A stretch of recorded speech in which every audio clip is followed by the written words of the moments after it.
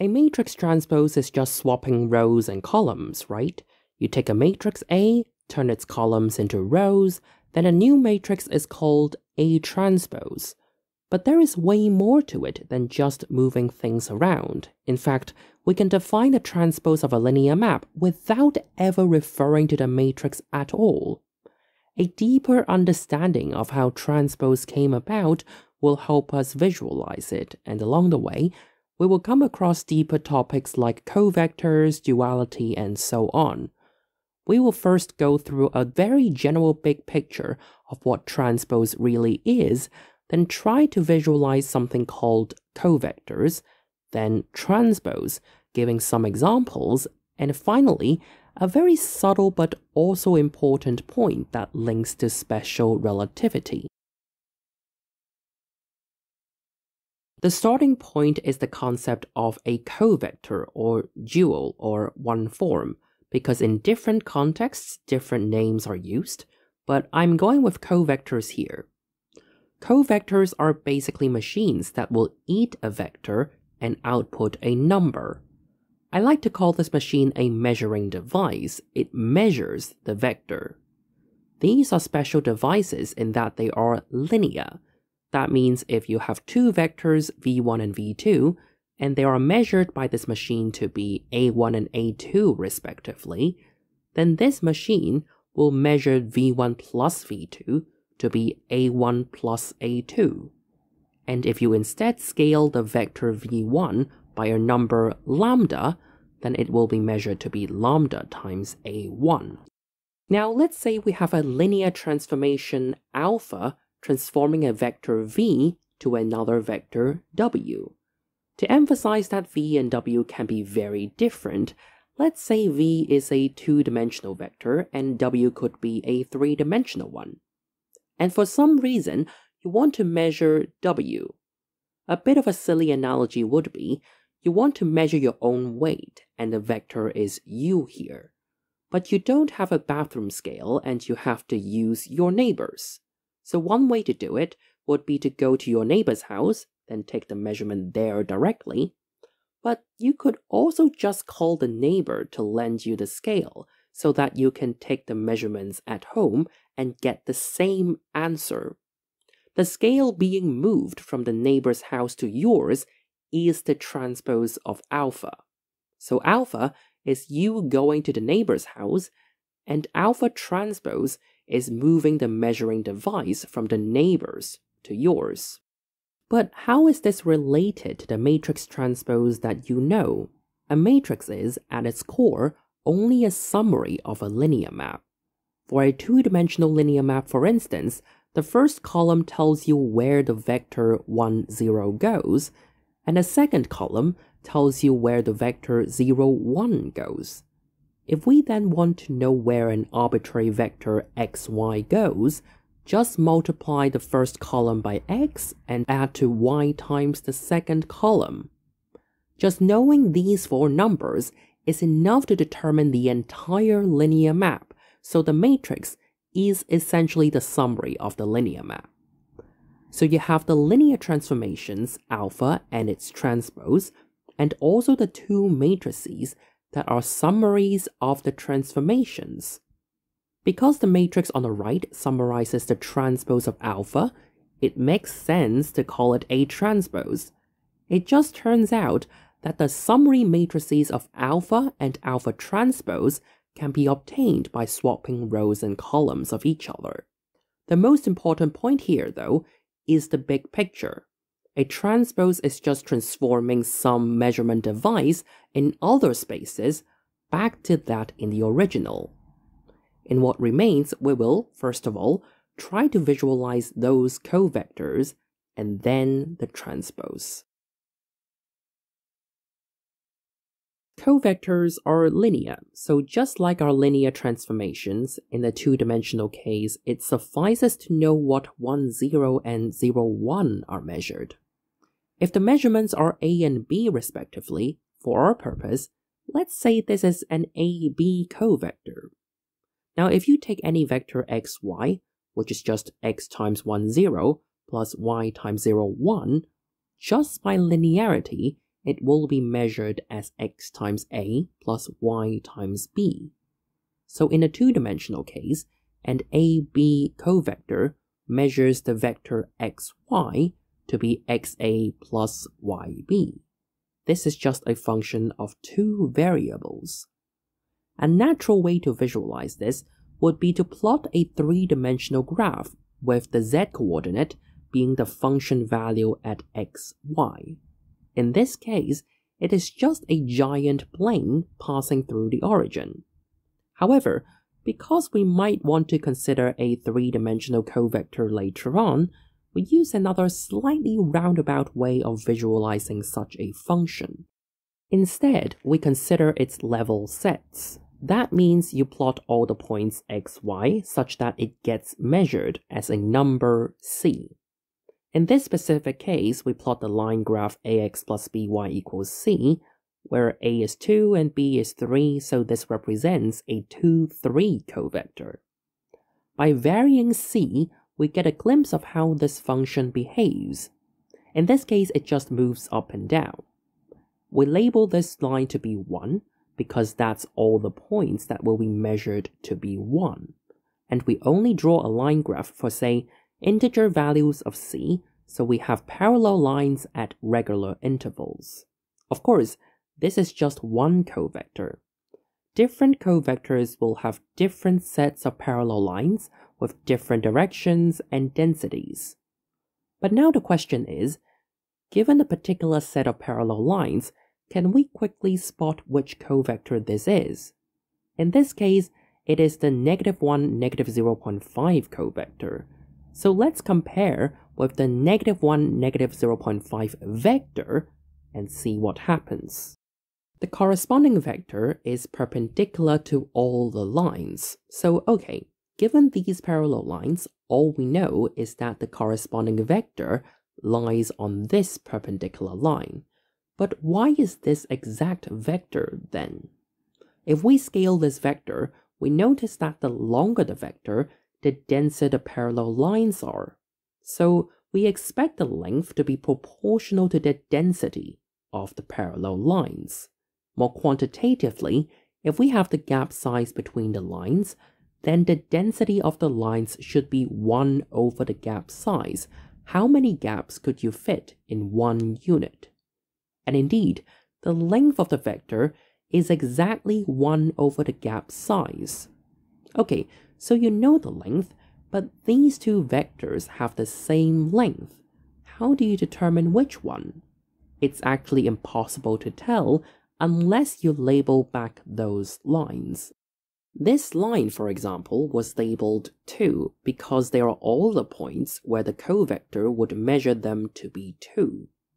With these labels, we can tell these two vectors apart. The corresponding vector points towards positive labels. So here is a summary of how you know which covector you have just by looking at these lines. First off, you know the corresponding vector is perpendicular to the lines, so the vector must be on this white line. You take a look at the gap size between the lines, then you know it's one of these two vectors whose length is 1 over the gap size. Then you take a look at the hidden labels of the lines, and you choose the one pointing towards the positive labels. Finally, you read off the coordinates of the corresponding vector. So we have visualized two-dimensional covectors using parallel lines. Three-dimensional covectors are similar, except we have parallel planes instead. The corresponding vector would still be perpendicular to the planes, the length of the vector would still be the density or one of the gap size of these parallel planes, and the vector still points towards the positive labels. Now that we have visualized covectors, we are ready for the transpose.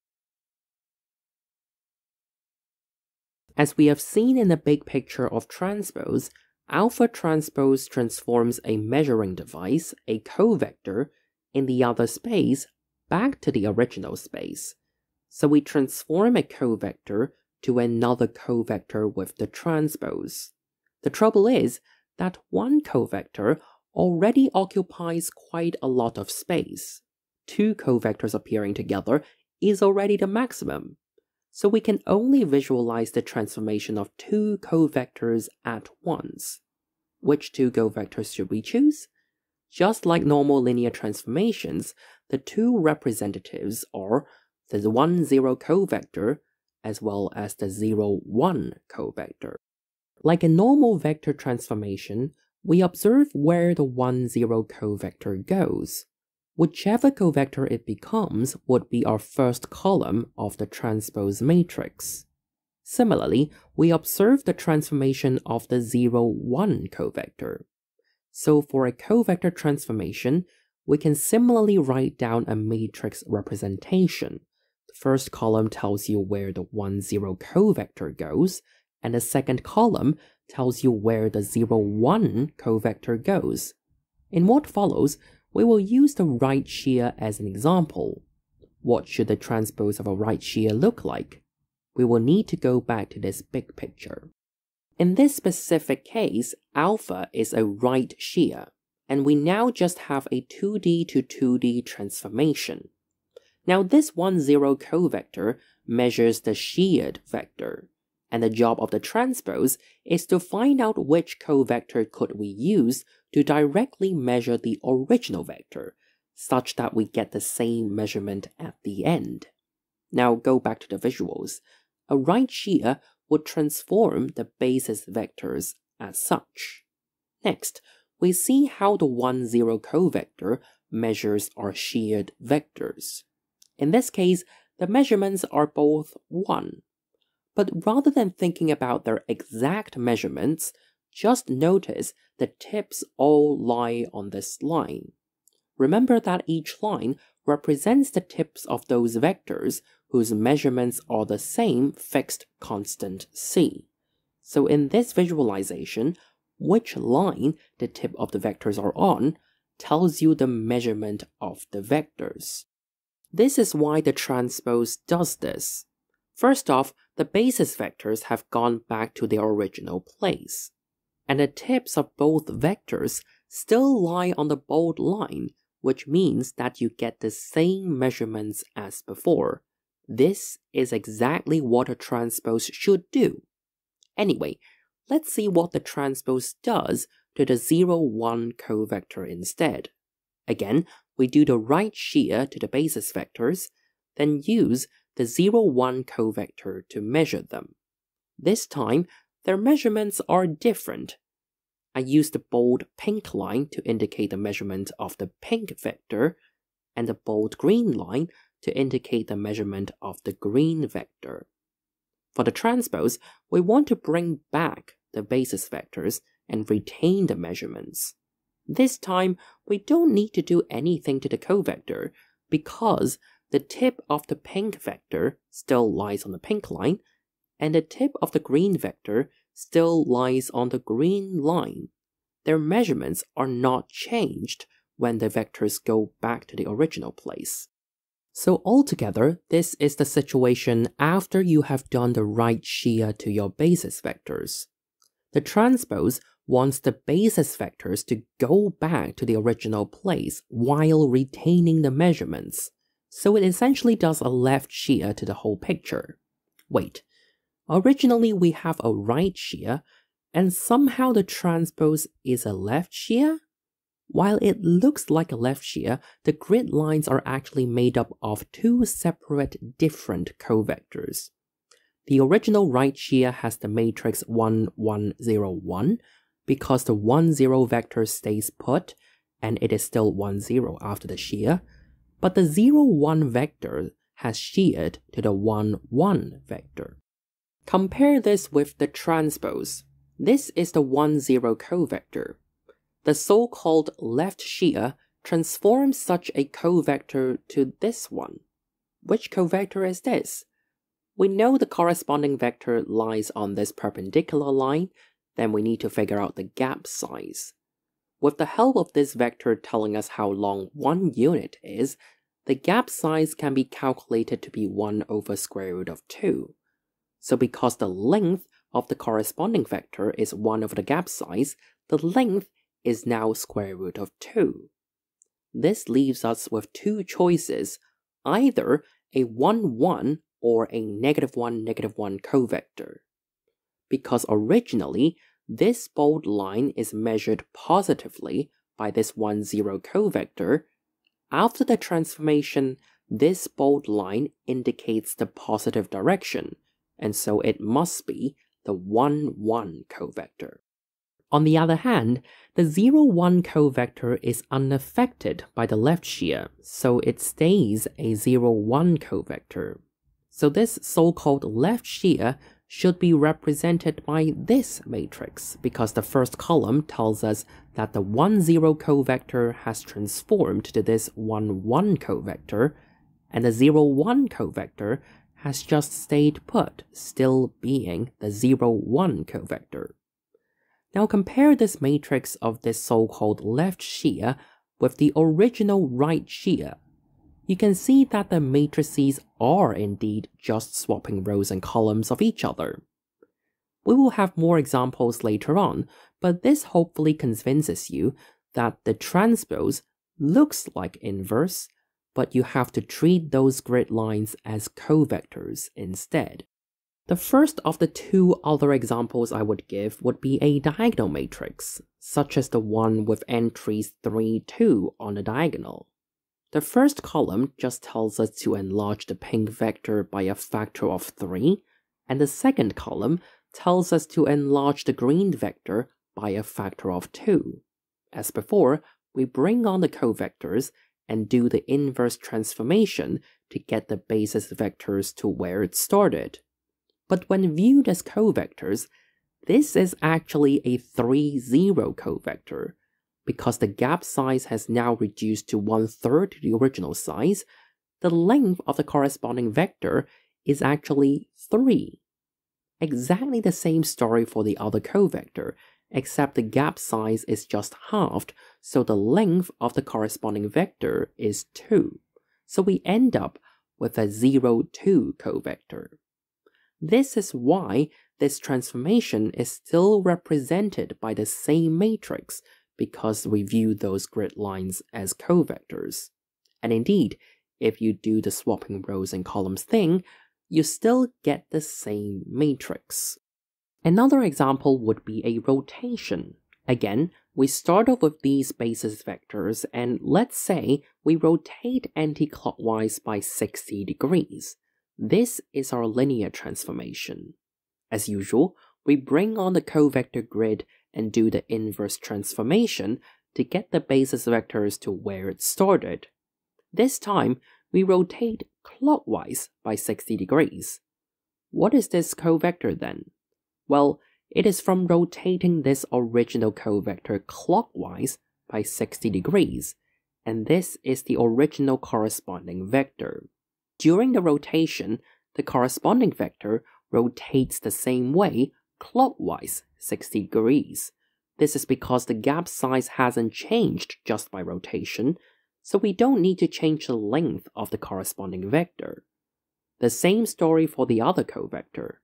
So in this case, the transpose doesn't just look like inverse, it is the inverse when acting on the corresponding vector. That means if I write down the matrix corresponding to anti-clockwise 60 degree rotation and the corresponding transpose, in this case are inverses of each other.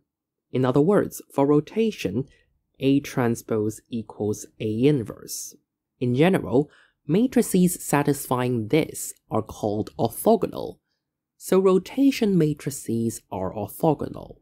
By now, you might be thinking, this visualization depends on having an inverse, and yes, indeed, there is a bit of limitation when it comes to singular matrices, and in general, in technical terms, the rank is smaller than the dimension of your original space.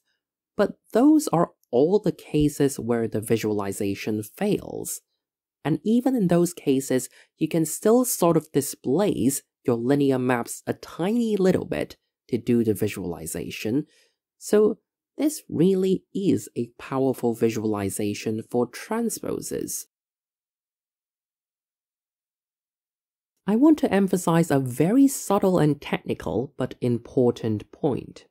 The orthogonality condition A transpose equals A inverse should not have made any sense to you. On the left-hand side, the transpose is supposed to transform covectors to covectors, but on the right, A inverse transforms vectors to vectors. They aren't even the same type of object. How can they be equal? Well, the trick is to pair up vectors and covectors, treating them sort of the same, which is what we have done in this video. For this AB covector, where we measure 1, 0 as A, 0, 1 as B, we have associated with it the vector AB. Or in the visualization of covectors as a bunch of parallel lines, we have associated it with the vector perpendicular to the lines, and length being the density of the lines. Of course, we can do the other way around as well. Given the vector, we can draw those parallel lines, and given a vector AB, we can also easily construct that covector. That's how we have achieved the one-to-one -one correspondence between vectors and covectors. A technical remark is that this has to be a linear correspondence, which our pairing is, but we don't have to go into the details of what linear means in this context. Let's list a bunch of vectors and covectors that we have. If a transformation transforms a covector epsilon to another covector eta, and epsilon is paired up with the vector v, eta with the vector w, then it looks as if v is being transformed to w. This covector to covector transformation does not even know the existence of v but because of this pairing, we can treat this as a vector-to-vector transformation. In a similar way, if a vector-to-vector transformation transforms v to w, we can think of it as transforming from epsilon to eta. It is in this sense that we say something like A transpose equals A inverse. There are two reasons why I want to emphasize the process of pairing up. First, while this way of identifying a vector with a covector is very standard and very natural, this is not the only way of doing it. You could have also paired up with the vector negative AB instead, or A negative B. These will still yield a one-to-one -one correspondence. There are many other options, but I'm choosing these two simply because either of these two will give you the mathematics of special relativity in 1 plus 1 dimensions, and any matrix that fulfills this orthogonality condition under this pairing are the Lorentz transformations. Don't worry if any of these doesn't make sense, I will probably make videos on special and general relativity later on. If you know something about relativity and are wondering why this has anything to do with it, know that the act of going from vectors to covectors is the job of the metric tensor, or metric for short, and going from covectors to vectors is the job of the inverse metric. Anyway, the point is, it is very important to specify which one-to-one correspondence or the metric you are using because different metrics yield different mathematics. The other thing is that you might not even be able to pair those up. In infinite dimensional vector spaces, there are way more covectors than vectors, so you can never achieve a one-to-one -one correspondence. If you still insist on trying to define orthogonality, then you need to restrict the kind of covectors you consider, and hope that those special covectors have a one-to-one -one correspondence with the vectors. This will be better explained with the concept of an adjoint, which I have put some resources in the description. This adjoint concept is the bread and butter of quantum mechanics.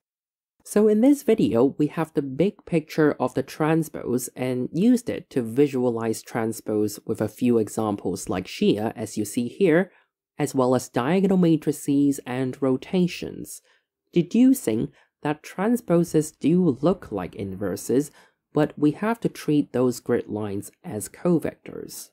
By the way, I'm still collecting questions for the 100,000 subscribers Q&A, so if you want to ask any questions, this is the last chance to ask because if everything goes well, next video will be it. But please do not ask any animation related questions anymore because there are already many questions like that, and I will definitely answer that, don't worry. In any case, thanks for the patrons, subscribe, hit the bell, like, comment, share. See you next time.